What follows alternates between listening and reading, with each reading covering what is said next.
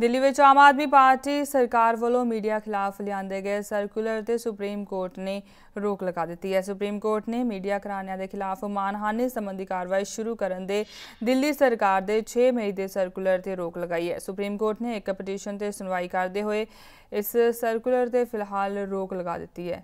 ਗੌਰਤਲਬ ਹੈ ਕਿ ਕੇਜਰੀਵਾਲ ਸਰਕਾਰ ਦੁਆਰਾ 6 ਮਈ ਨੂੰ ਮੀਡੀਆ ਖਿਲਾਫ ਇੱਕ ਸਰਕੂਲਰ ਜਾਰੀ ਕੀਤਾ ਗਿਆ ਸੀ।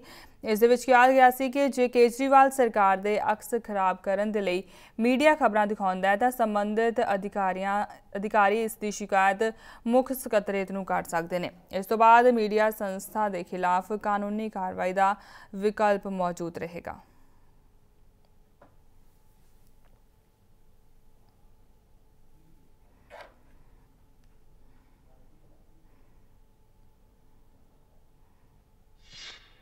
फरमान जारी किया था। शुक्र है कि सुप्रीम कोर्ट ने उस पर रोक लगाई है।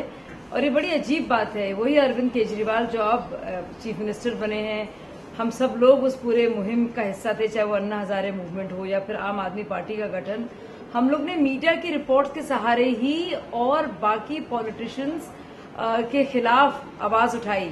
और जो सारी मीडिया रिपोर्ट से पर्दाफाश किया था, पहले जो एक्सपोजेज रहे करप्शन को लेकर अब वही अरविंद केजरीवाल जब उन पर बात आती है तो उसी मीडिया पर वो अंकुश लगाने की कोशिश करते हैं।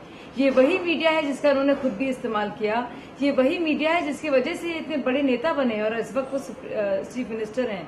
तो एक के बाद एक हम देख रहे हैं कि उनके तो तुगलक ही फरमान आ रहे हैं और कम से कम जो उच्चतम न्यायालय है, उसने इस बहुत सख्त कदम उठाया है और इसकी, इसको वेलकम करने की ज़रूरत है। खबर दी दुनिया बचाओ साढ़े नाल, कदे भी, किते भी जुड़ो।